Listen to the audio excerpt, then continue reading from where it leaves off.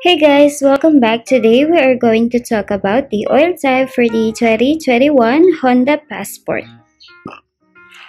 And if you are looking for what oil to buy for your 2021 Honda Passport, I have already looked it up.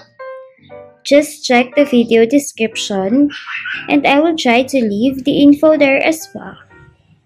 The oil type for the 2021 Honda Passport is 0W-20 synthetic. This oil type is only the manufacturing the recommended oil type. Keep in mind that the type of oil could change depending on the year and mileage of your car. You can change your oil as often as every 3 months, or you can ask your mechanic for the recommended oil type and frequency of changing your oil. So once again, the oil type for the 2021 Honda Passport is 0W-20 synthetic.